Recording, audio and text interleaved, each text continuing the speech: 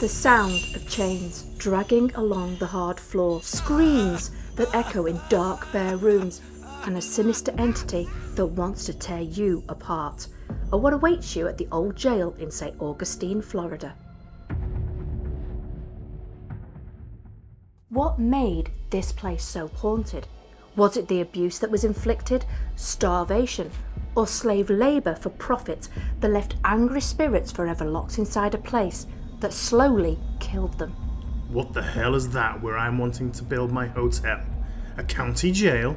Nope, that won't do. Tear it down. Wanting his new Ponce de Leon hotel to offer the best of everything, including scenic views, Henry Flagler made a deal with the county. He paid $10,000 to have a new jail designed and built by PJ Pauly Jail Company, the same guys that would later build Alcatraz in San Francisco. Don't you worry, I'll make this place look real cozy and cute. The outside will hide all your jailhouse shenanigans. Remember, this is going to be a tourist town. No one needs an eyesore.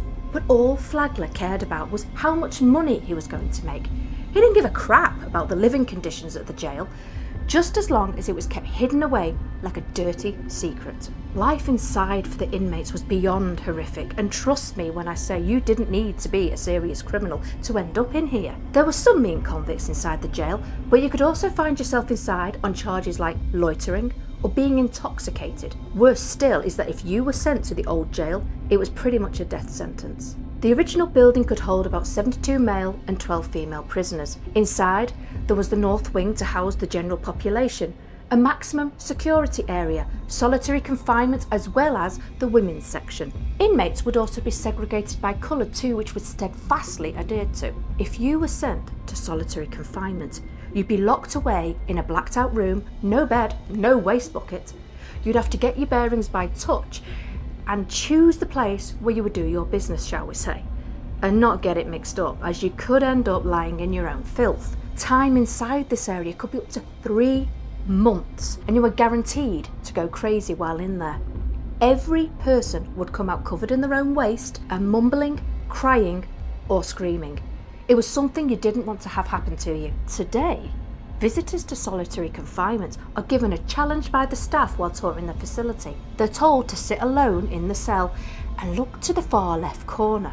There are loads of reports of an inmate seen lingering there, showing themselves as a shadowy figure that will suddenly lunge, trying to grab you. The majority that did the test have been left shocked by what they experienced, while others who witnessed nothing later stated that they found scratch marks on their stomachs the very next day. Who might this angry spirit be? Well, there are a couple of ideas on this, one being a man named Sim Jackson, who was hung in 1908 after slaughtering his wife with a razor in 1906. The other possible candidate is Charlie Powell, who was arrested for killing a man who had been spreading rumours about his wife. Charlie was treated terribly at the end of his life, as he was hanged twice after the first attempt failed. Others believe the entity in this area might be something a lot more sinister, something created from residual energy left behind by all the cruelty, hatred, and evil. Visitors describe it as a feeling of lustful hunger that seeps from the shadow, wanting to hurt and destroy. One comment on TripAdvisor stated, The shadow felt like it was trying to consume me. Death row inmates will be housed in maximum security, a place that was equipped with a torture cage, stockades, and a fantastic front row view of the execution area. In the time that it was in operation, a total of eight men were hung at the old jail. The really twisted thing is you would build your own gallows, adding more anxiety and stress to an already messed up scenario. When you were hung, the next person in line to be killed would dismantle it only to rebuild again for when they were to be executed. Now, that's a disturbing thing to do to anyone, right? With all the horror that was endured inside, many men and women would start to lose their minds. Visitors have reported hearing moaning and wailing coming from the maximum security and solitary confinement areas. Now, during the day, male prisoners would be hired out for profit to local plantation owners and would work all day in the blistering Florida heat. They would travel in tiny cages, shackled together, they were not offered the proper tools to work, and many didn't even have shoes on their feet often returning to their hellhole of a jail with open wounds and infections. Locals today often complain about hearing the loud clunking sounds of chains and shuffling footsteps as ghostly figures hobble back inside their eternal hell. Even visitors to the jail have reported hearing this and sensing that they're not alone. You'd never want to show any signs of weakness either, as this could be used against you. Guests and staff at the old jail have mentioned hearing the voices of old inmates in their cells and hallways of the building, talking or crying quietly, trying to hide their distress from their cellmates. And don't for one minute think that if you got sick, they would care enough to treat your symptoms either. Why waste the money on you when you are so easily replaced? Sick patients would be separated from the rest of the population so as not to spread infection. If you recovered, then great, back to work you go. But if you didn't and you died, that would be the only time a doctor would set foot inside that jail. Well, that and hanging days.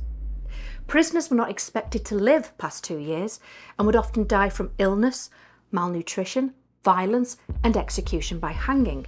Cholera and tuberculosis, and among other diseases, would run rampant throughout the jailhouse. But not wanting it to be known just how many died, the county would fix the numbers so they didn't look as bad. The really messed up thing is that any money the prison received for the labour was meant to go towards the jail's maintenance, but instead, the sheriff in charge, Joe Perry, and the guards would pocket the money for themselves. After a crazy long day of back-breaking work and scorching heat, the men would be marched back to the jail chained at the ankles. But there'd be no relaxing shower or bath upon their return, as there was nothing, not even toilets. You would get a bucket that would be passed around from cell to cell, making the environment smell putrid. And as there was no glass in the windows, the nasty aroma would entice flies, which was a huge problem as they'd spread even more disease. The beds were no more than a slab of wood which is infested with termites, with a mattress stuffed with Spanish moss that was also infested with bugs. Workers and visitors to the old jail have mentioned the smell of sewage lingering in the air, even though there is none to be found inside. Others have commented on a sickly sweet smell that may be the sense of infection and death. The staff at the old jail have tried to combat these aromas, but they seem to linger on, just like the entities trapped inside. Now you can imagine the frustration that these guys felt, and with nothing to do but sit in a cramped cell, prisoners would often take to beating each other to take out their frustrations. Sadly, the guards did the same thing to the prisoners, so either way you could easily end up the victim of a serious beating. But if you thought the men had it rough, it was worse for the women, who often had done nothing to land themselves inside this place. If you didn't have a family, were thought to be of low character, have a mental disorder, have no husband, or be easy on the eyes, these could be factors to land you inside. Not only were these ladies huddled together like the men in cells far too small to contain them comfortably, their official duties were to cook and clean for the male prisoners and the sheriff's family. They would cook all day over piping hot stoves in temperatures over 100 degrees with no air conditioning or way to escape the air that was stifling. Women were known to physically drop in the kitchen, dead from the work conditions alone. Even though they were given food at the prison, the inmates would often be close to starvation. So, in a jail that was filled with rodents and other vermin, the men and women would often catch what they could and supplement their diets on those tasty treats. One thing that was readily available and they could have as much as they wanted was coffee, as this would give them more energy and stem their appetites. But worse yet, Women would also be pimped out as sex workers and raped by the guards, which is why if you were found attractive, you might end up in the jail. They knew they'd be able to make a pretty penny from turning you into a sex slave. Several visitors have reported hearing a cackling laugh coming from the women's cells. Could it be the sound of a poor woman slowly losing her mind?